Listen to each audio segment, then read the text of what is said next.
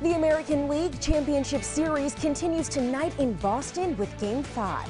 The Red Sox now hoping to take back the series lead going into Houston.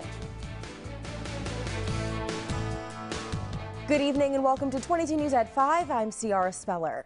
Game 5 of the ALCS is going on right now at Fenway Park. The series between the Red Sox and the Astros tied at 2.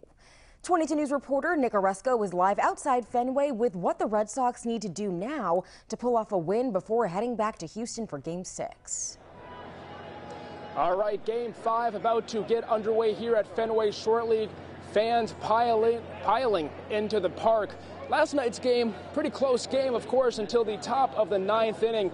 Astros scoring seven times, top of the ninth thanks to a questionable call by home plate umpire Laz Diaz, giving the Astros a 9 to 2 victory, making this game, Game 5, all that more important. Red Sox ace Nathan Eovaldi taking the ball on two days rest last night after an impressive Game 2 start and win.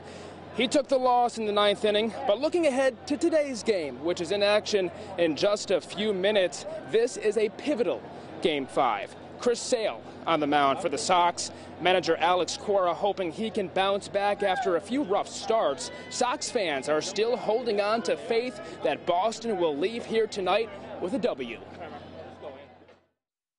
I think it's definitely a must win. I, I don't want to go down to Houston down two games to zip. You know, I, but this team has been resilient all year long, so anything can happen in this series, I think. Hopefully it's old school Chris Sale tonight and you know, get on a plane tonight and they go back uh, to Houston up 3-2 as opposed to having to go win two there. Don't want to see that.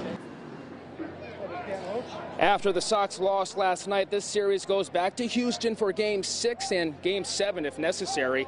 This is not a must win for the Sox today, but it will definitely help if the Sox can take the series lead going to Texas on Friday. Game six is scheduled for Friday at 8 o'clock. Nathan Eovaldi, who pitched last night, is still scheduled to make that start in Houston on Friday. We'll see if that changes. Meantime, here live back on Jersey Street, gates are open, fans are ready.